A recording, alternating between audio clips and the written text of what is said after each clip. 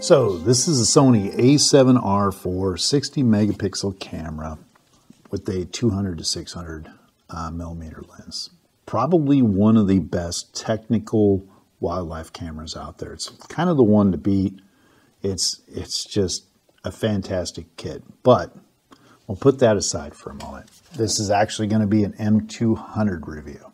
So I'll get to why I was mentioning that. This is probably the Sony the Sony Sony a7R4 is probably not the best camera for you. I mean, to be honest, it's it's expensive, it's heavy, um, its capabilities are beyond what most people can do, and there's some some different drawbacks. You know, we're in this this world of bigger is better, and so this is going to be a Canon M200 review. I'm going to tell you, this camera, as small as it is, I shoot this a lot more than than the Sony, and there's there's a reason for that. We'll get in that, but let's jump in the specs, some of the very positive things, some of the drawbacks, and and why I think you know if you're interested in this type of camera, the positive things, give it a look. It's very affordable. So the specs. 24 megapixels. It has the latest Pixel or, or DIGIC 9 uh, image sensor, 6.5 frames a second, 60, 50 to 60 JPEGs on high buffer. It clears the buffer extremely well as far as one to two seconds you're back up and running. So the matchup between the frames per second and the buffer is extremely well set up, in my opinion. It's not the fastest camera, but really there's no waiting. Like there's other cameras, my Sony, where you can blaze through 20, 15, 20 and wait because it's 60 minutes. It's trying to clear everything out. This actually does pretty nice. You can just hammer on it, just keep going, keep going, and that.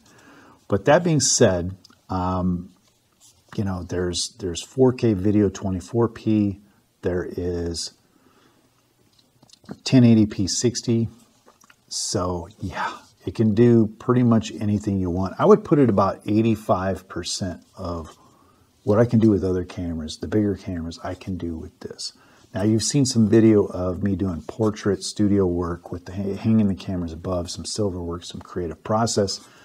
You've seen the backyard birding video um, where you know had a few photos of different birds and that. And so I've over the last since probably 2017, last four years, I've done wildlife photography with this little setup, the M100, M200. You know, prairie dogs, birds, deer, you name it, video, it works all really well. Yes, there's some drawbacks, but for a little kit that's almost pocketable, it's a very flexible camera. And there's not a whole lot of things. You know, it's got the dual pixel autofocus, which is acceptable.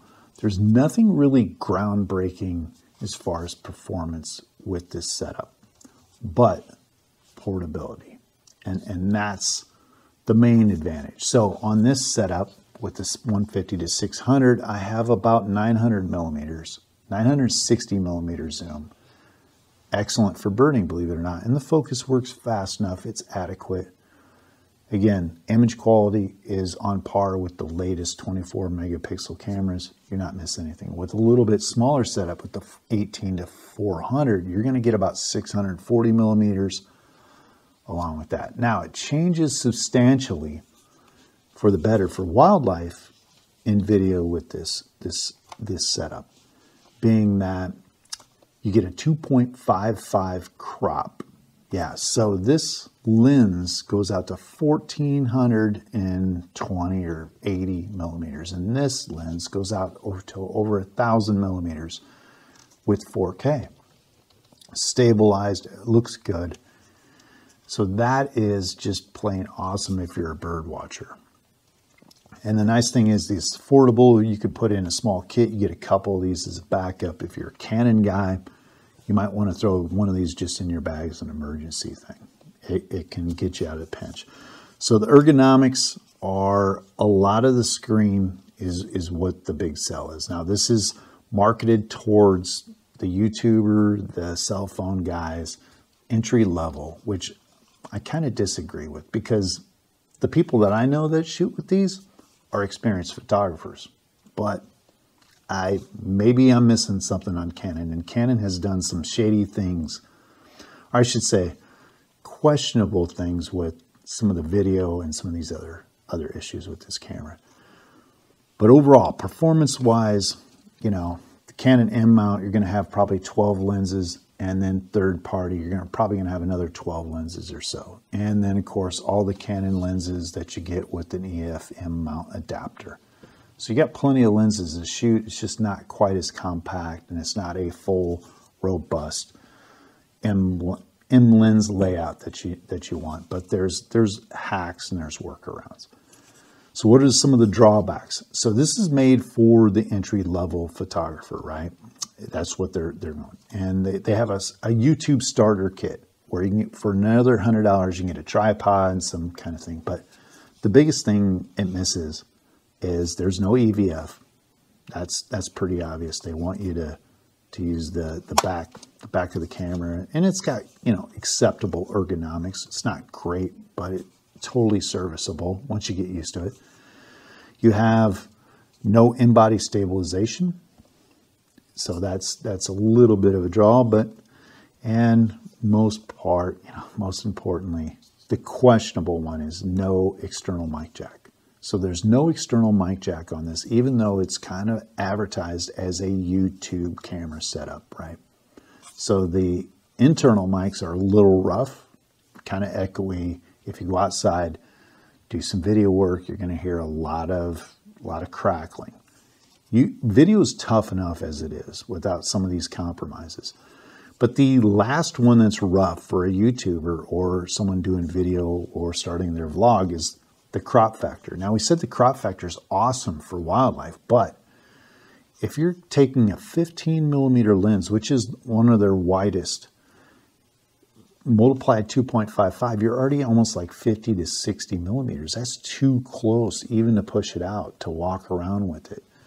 So that is an issue that you're going to have. You know, 4K 2.55 crop is is quite a bit. So I'm not sure why they hampered it in these two ways. No external, no external mic jack and a huge 4K crop.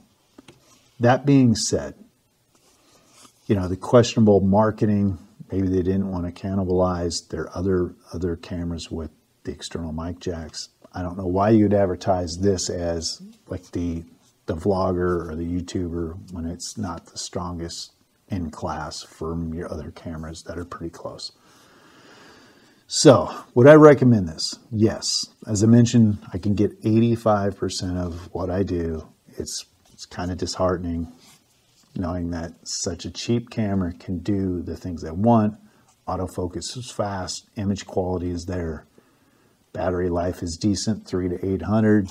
Batteries are cheap, a couple of those go in your pocket.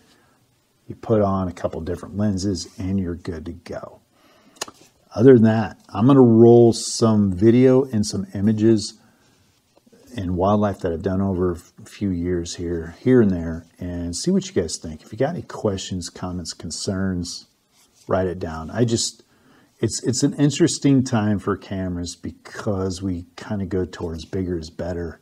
This whole marketing situation where, for me, you know, these kind of cameras, you take with you everywhere. They're everyday camera. You can put them on your, your couch. You can take photos, put it back.